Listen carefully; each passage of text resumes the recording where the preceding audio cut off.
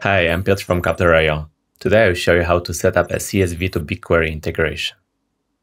First of all, log into your Coupler.io account. Then, click the Add New Importer button. Name the importer. I'll go by the name COVID Worldwide Stats.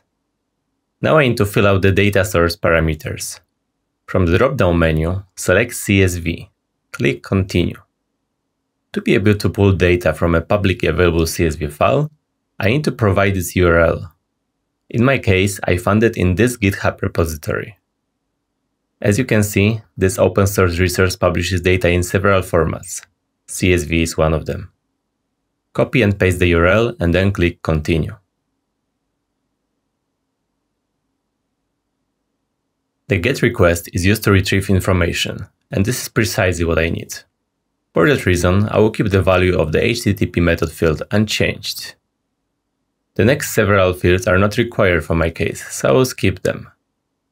Here, I'm going to specify the list of column headers I want to pull to my BigQuery table. They are ISO code, continent, location, date, and total cases. The dataset is huge, so I will limit the number of columns to be imported just to these five for better readability. I will skip the next field as well and click Continue.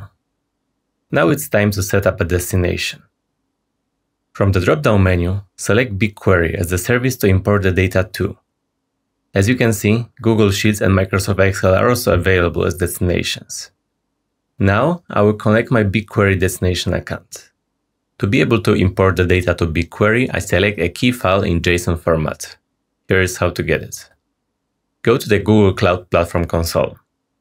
In the navigation menu on the left-hand side, select IAM & Admin and then Service Accounts. Click Create Service Account at the top.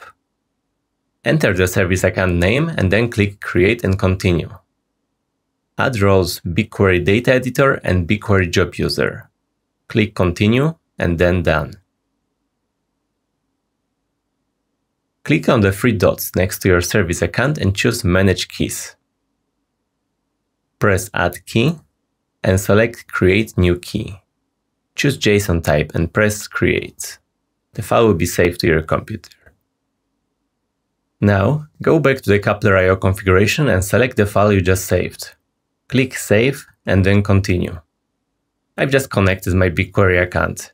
Now it's time to specify the dataset and table where I will import my data to. To do so, open your BigQuery dashboard.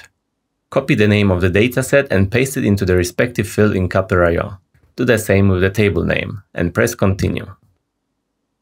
This is the default settings and I'm not going to change it. So I will just click continue. Here, I will set up a schedule for an automatic data refresh. Switch the toggle on. I want to pull the data to BigQuery on an hourly basis, every day of the week. So I'm making a small amendment to the suggested schedule, adding Saturday and Sunday. Both the time preferences and the time zone work for me, so I don't need to change anything here.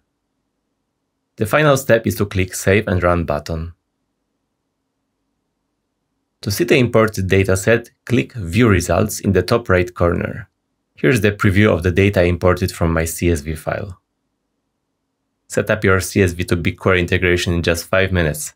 With no coding skills required, Coupler.io has got you covered. Thanks for watching. Check out our other tutorials in this playlist. If you have any questions, feel free to contact our support. Thanks.